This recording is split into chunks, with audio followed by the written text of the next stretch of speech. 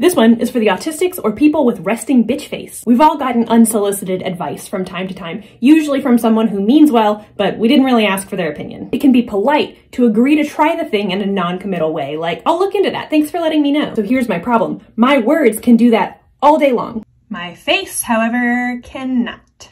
Someone who cares about me a lot gave me advice today to try a new app. And my words were, they were, they were on point. They were like, yeah, that's a great idea. I should try that. I'll download it when I get home. And then she was like, oh, I can tell by your face. You're not really that into it.